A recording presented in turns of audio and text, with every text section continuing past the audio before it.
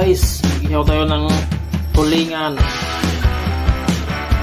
Si Halidi ngayon, walang pasok. Ito, dalawang piraso lang.